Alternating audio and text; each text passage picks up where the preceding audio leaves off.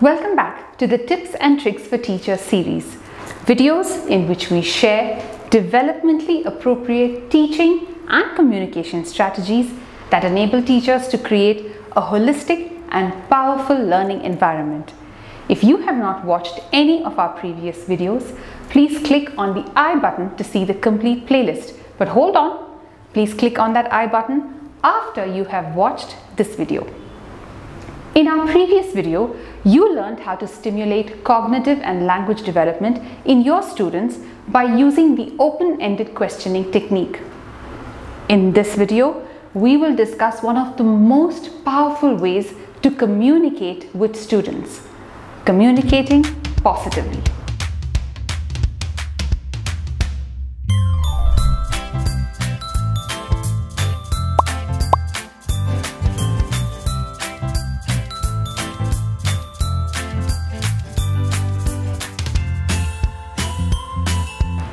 Child, how many times did you hear the words no and don't?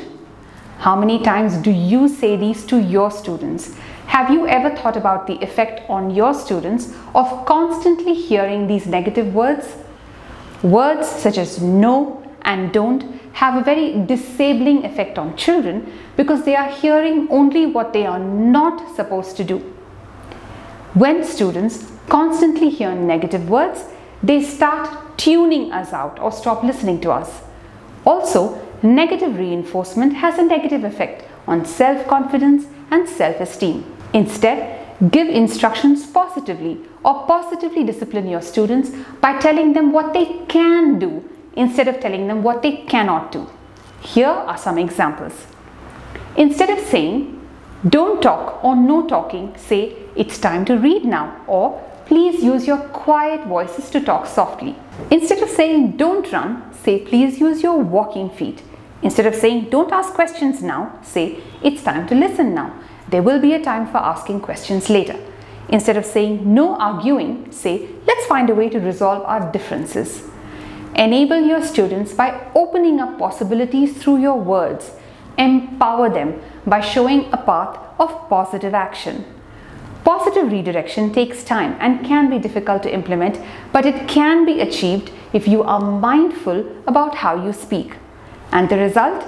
Confident children with high self-esteem, a positive environment of teaching, learning and growing. And these effects will translate into your students' families too. Use positive enabling language. Let's say no to no. Thank you for watching. We would love to know the effects of your positive communication on your students, so don't forget to share your feedback by commenting. Also, show us your love by liking, sharing and subscribing to our channel. And please do keep coming back for more and more tips and tricks for teachers. Happy teaching!